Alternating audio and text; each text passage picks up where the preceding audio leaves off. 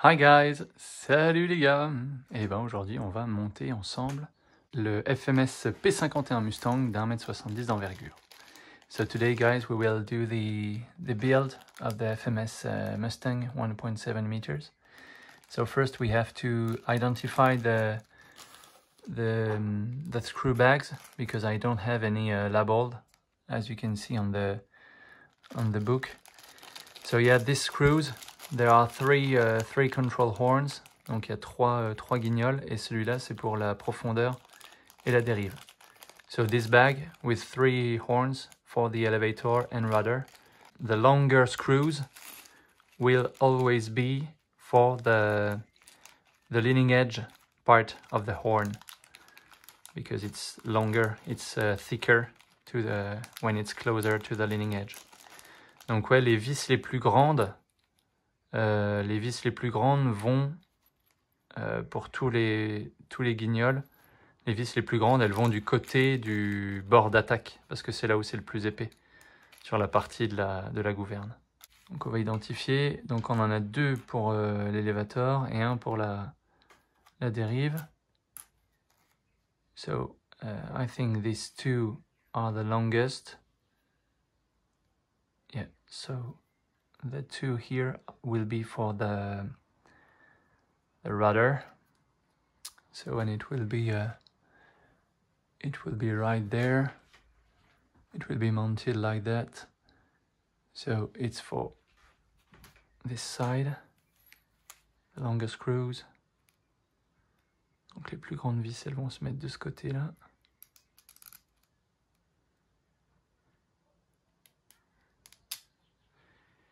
Et après, on va devoir chercher deux vis identiques. Donc là, on en a...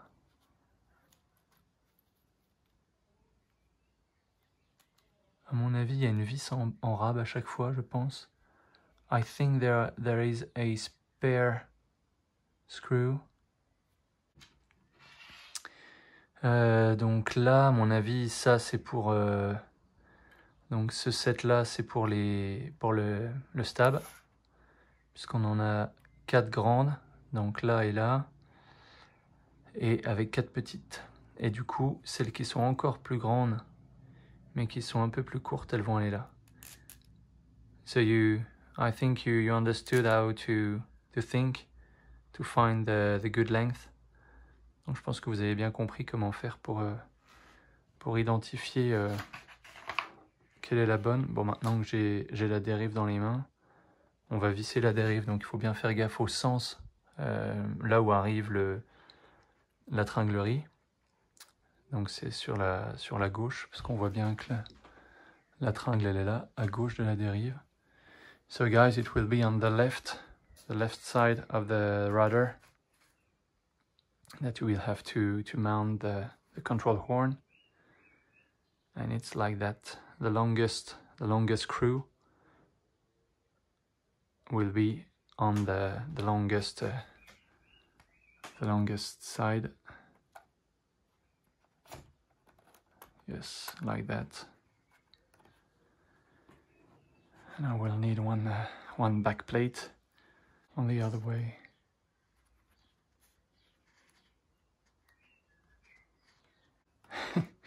Je suis pas bien en face. C'est hyper, euh, hyper galère avec la caméra, avec le téléphone devant les yeux, je vois rien du tout.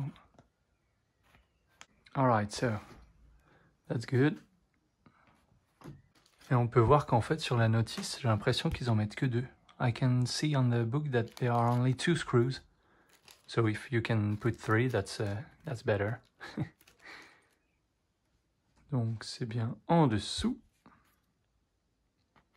comme ceci, n'est-ce pas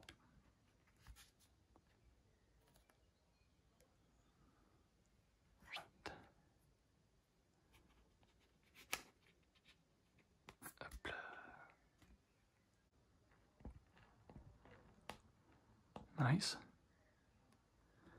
That's done. Okay, perfect. So that's done. So for the flaps and the ailerons, uh, there are no no labels on it, so I think that the longest screws are for the, the flaps, because the flaps are thicker than the, the ailerons.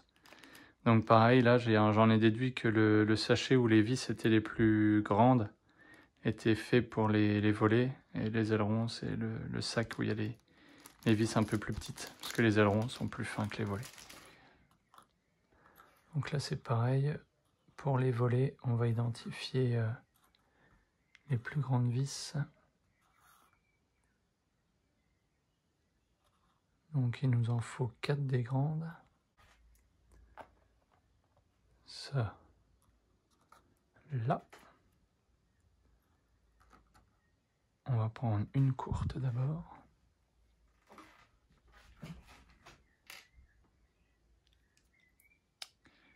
Donc évidemment la courte elle va venir sur le bord de fuite.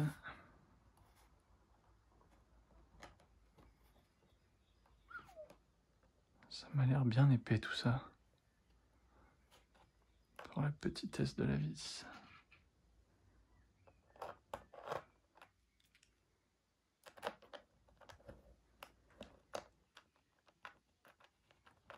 En fait, faut pas du tout les visser les autres faut à peine les visser. Et toutes les visser une par une, de plus en plus.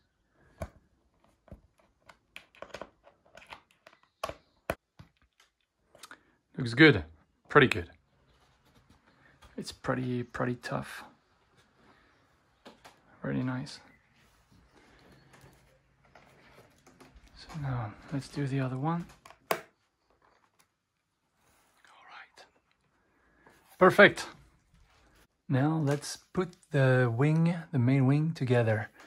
And uh, just to show you, I've done some, um, you see some uh, droplets of FoamTac to secure the, the screws on the control horns. Donc ouais, j'ai sécurisé les vis avec quelques gouttes de FoamTac. C'est de la colle euh, qui reste souple, c'est de la colle qui casse pas et qui est, euh, qui est euh, sans danger pour le, pour PO, pour la mousse. Donc on a la première, euh, la petite euh, clé d'aile qui va devant, la clé noire. The black uh, spar is in is uh, from the for the leaning edge of the wing. And you can see the main spar is bent don't know if you can see, but it's it's a, it's a bit bent to add some diadrall. Ouais, donc comme la clé d'aile est, pliée, donc faut bien mettre la pliure euh, au niveau de la jonction de l'aile. You have to to put the the bend at the at the middle at the, the junction of the two uh, the two wings. So we will uh, put that together. So we can see the, the bend here. So we are good to go.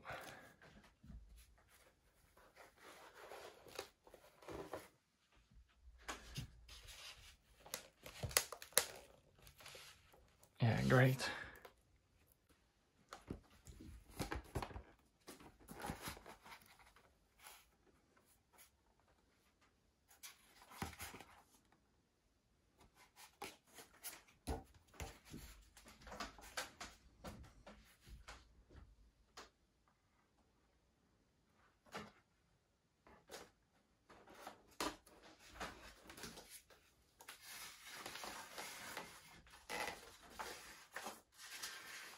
Just have to feed the wires.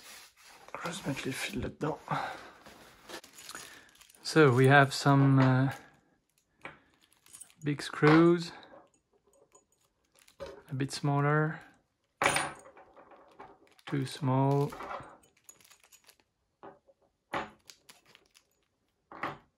The small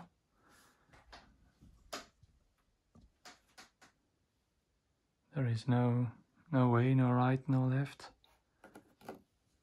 So, tick, tick, tick. And this is a 6 per 90 millimeters. So I think it's uh, the big ones. Yeah, this one. So we will screw that.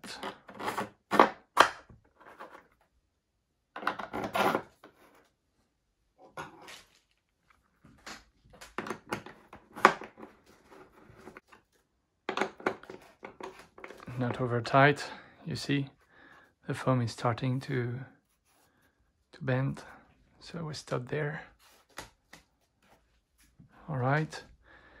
Install the wing connector. Put the connector into the position rightly. Make sure there is no slot between the two wing panel.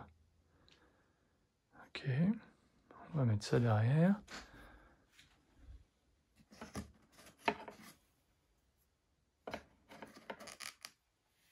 Then after, this is the two other, two other big screws.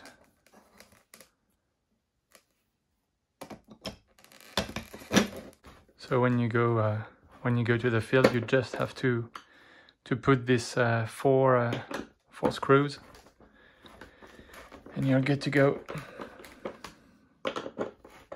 Same here, we won't over tight Donc il n'y a que les quatre vis là à, mettre quand on, quand on va voler au terrain pour assembler l'aile. Ça va, il y a pire. Donc on va d'abord mettre le stab. We will do the horizontal, uh, horizontal stabilizer first. Donc le stab, euh, il va nous falloir donc les vis. Il y en a deux, ça doit être celle-là. Elles font 3 mm par 5 cm, c'est celle-là. Donc les deux là, these two screws, the two smaller are for the horizontal. I've put some uh, some foam tag glue on the on the screws. The same here to secure it. Sur tous les guignols, j'ai mis de la, de la colle foam tag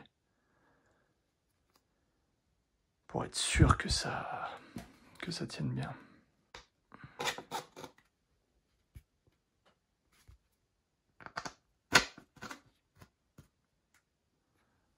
Bon là, il n'y a pas de surprise.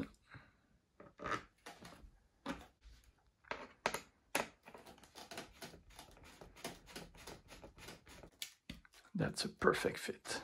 C'est parfaitement. Ça rentre tout bien. Now the vertical stabilizer is ready to be mounted. Gently push the stabilizer down. Là, vous voyez, il y a euh, une petite languette là qui va venir là-dedans, qui va venir ici.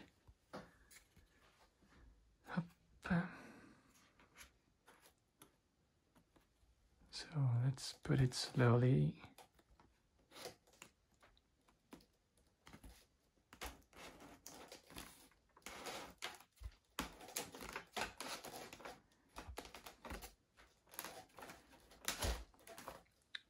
Perfect, perfect. We love FMS. Magique, parfait. Superbe.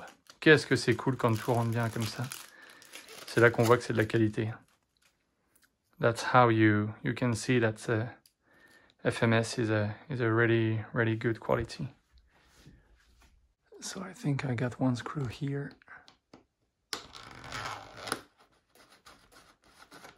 But the others are I will have to open the gear So I will use my servo tester.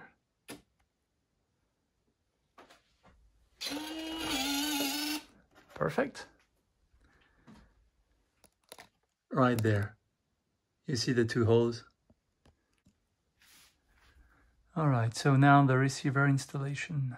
The ESC is a 80 amps. 80 amps Predator.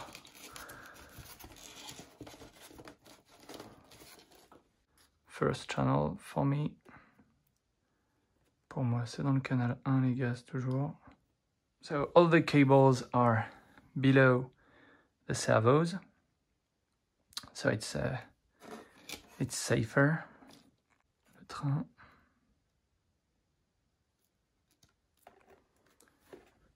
Les volets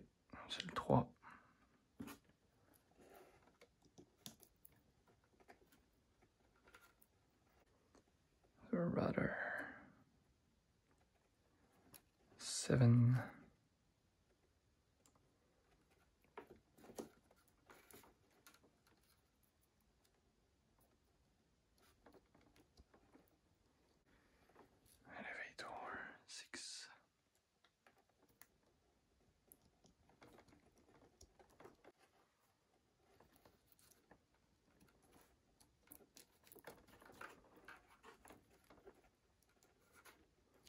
I run? Okay, that's done. I've got one channel left. In case I will uh, separate the steering wheel with the, the rudder.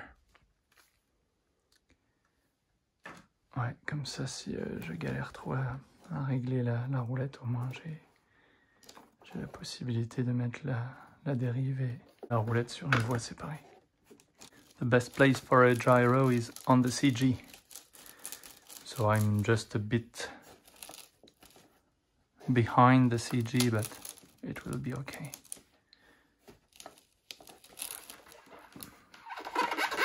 Maybe I can do some carving.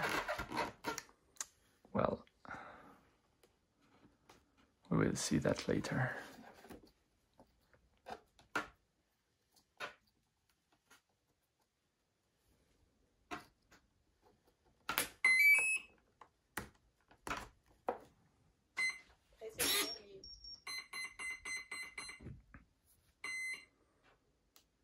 Great. So I will go to configuration, assist avion.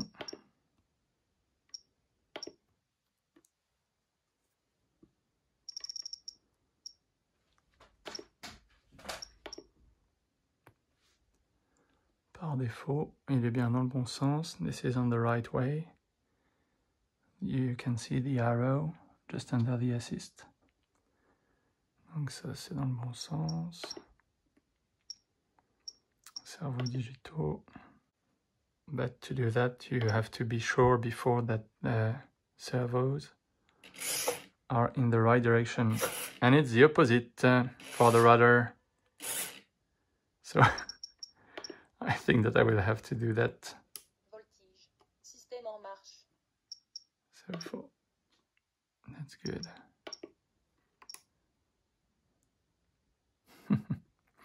so we'll will have a look at the at my servos. Now if I if I want to climb oh, that's reversed. So the elevator is reversed. Now it's okay. Okay. And I said that I think that the rudder, yeah, not the same, it's reversed. All right. That's good. You can see that this uh, this door, this back door, goes with the flaps. This is the same uh, wire but it's reverse for me. Yeah, it's reverse, so.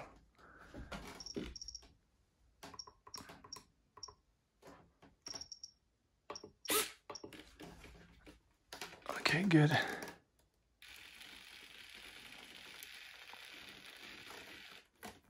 Yeah, not a big deal. We'll just have to check the in my uh, my flaps curve.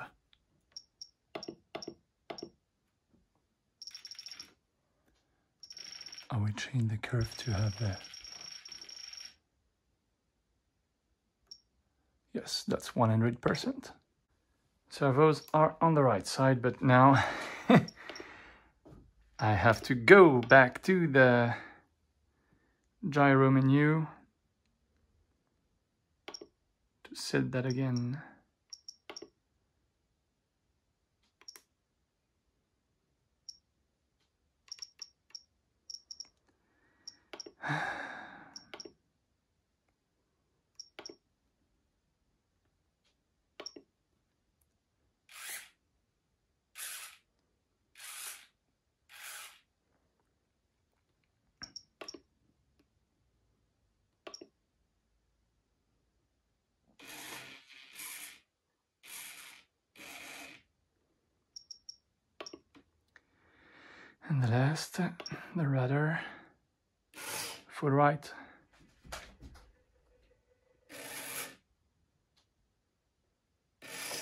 And full left. That's good. No, it's okay. Now we'll have to adjust all the linkage. You can see it's too short. Maintenant, je vais devoir faire tous les, toute la tringlerie.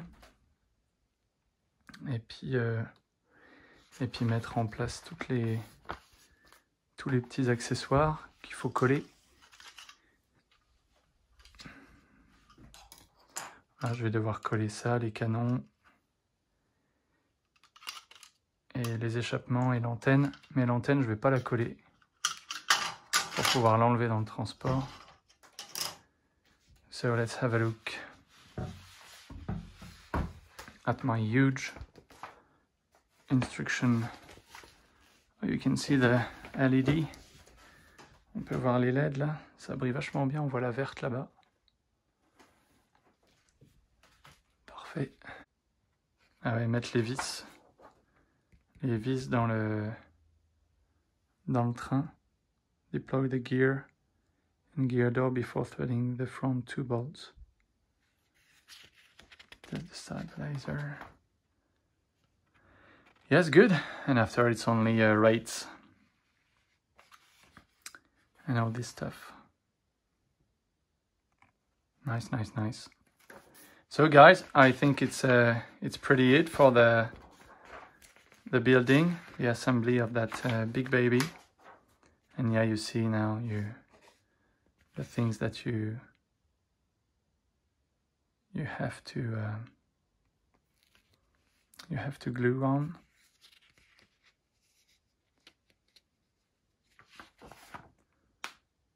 We have to glue the the tanks support. Only this part we have to be glued on, and then it's just a click for the drop tanks. And then this is the end, guys. So uh, thank you so much for watching this long video. it's really hard for me to film, really hard for me with that uh, with that iPhone on my head. But yeah, I've done this. Merci les gars d'avoir regardé. C'était pas facile pour moi avec ce, cet iPhone devant la tête. Hein, comme d'habitude, c'est jamais évident. Mais voilà, c'est fait. So uh, guys, thank you so much uh, for watching and uh, for subscribing. Don't forget to put a thumbs up if you liked it.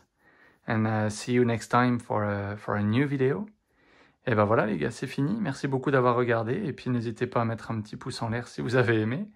Et euh, il sera disponible mi-juin chez turbinerc.com. It will be available, this uh, P51 will be available uh, mid-June 20, uh, 2022. and uh, so uh, be patient and just pre-order yours.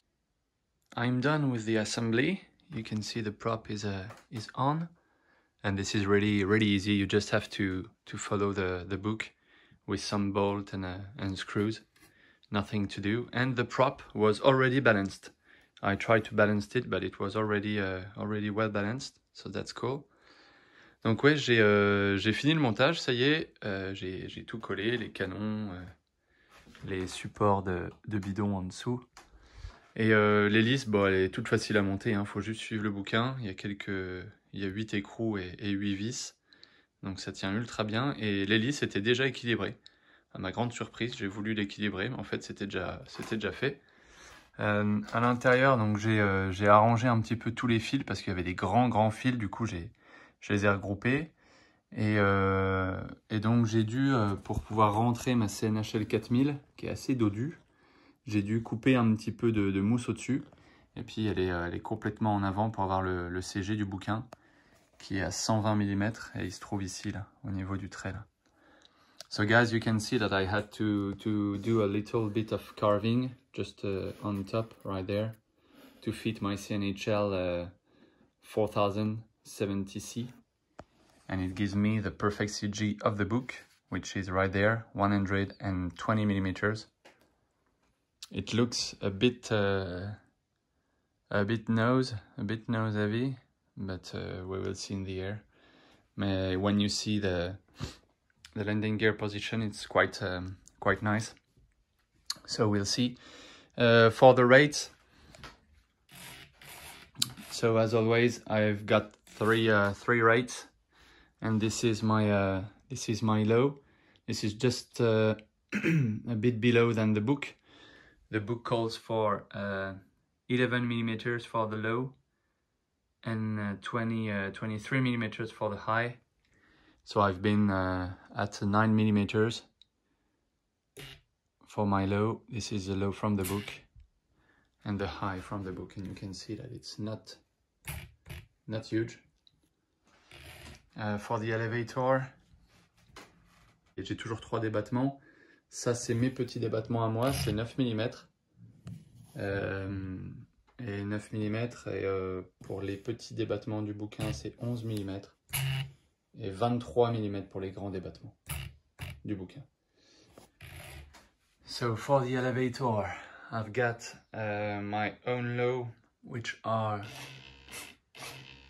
really low. You will see in the in the description. The low from the book are uh, only 10 millimeters. That's it. 10 millimeters. And the high from the book? This is 16 donc ouais ça c'est les grands du bouquin 16 mm les petits du bouquin c'est 10 mm et mes petits à moi je crois que c'est 6 mm I think it's 6 mm for my low because I love uh, very very small elevator rates with warbirds to to do perfect flaring for the rudder so the rudder my low are around uh, 13 millimeters, I think. I don't remember. The low from the book is 15 and the high is 22 millimeters. Donc ouais, mes petits débattements, c'est 13 mm à la dérive. C'est 15 mm pour le, le petit du livre et 22 mm pour les grands du livre. Donc là, on a le cerveau de la dérive, the rudder servos, elevator. Là, c'est le cerveau de la profondeur. And on the right side, this is for the uh, vent uh, door. You will see it open. And I had to carve a bit also because it was reversed for me. It was not the same way as the, as the flaps. So now when the flaps are deployed, I've got my, my door uh, open right there. And so this is a uh, 60 millimeters for the, the full flaps, like the real thing. The real Mustang is a uh, is like that, huge uh, huge flaps. And uh, I've put 30 millimeters. The 60 millimeters are from the book, and for the the first notch of flaps, I've put uh, uh, 30 millimeters. This is right there, measured here. Donc ouais, là j'ai mis le premier cran de volet, c'est donc 30 mm. C'est pas dans le bouquin, parce que le bouquin il dit juste 60 mm plein volet. Et 60 mm mesuré ici. Ici et pas au bout là-bas. Ça paraît gros, mais c'est comme le vrai. Le vrai Mustang a des, palettes énormes qui descendent très très bas. Donc on verra bien. J'ai mis un tout petit peu de compensation à, piquer. J'ai mis 2 mm à piquer. On verra, on verra, on verra. Et, euh, voilà, le train, est, euh, le train est magnifique, très très beau, ça me fait penser à celui du, du P47 de chez FMS. Il est très très cool, les roues sont, euh, sont molles, pour une fois c'est pas dur. The wheels are soft and that's really really cool. And the, the gear is, uh, is very very nice. I can't show you, but it's not too stiff, it's just perfect. Ouais, l'amortisseur est vraiment bien, c'est pas trop dur, c'est juste comme il faut. C'est vraiment top. I will sequence it.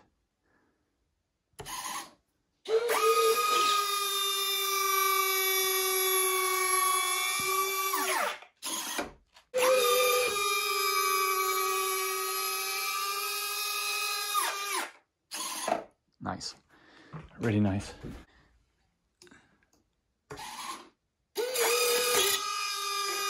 it's okay.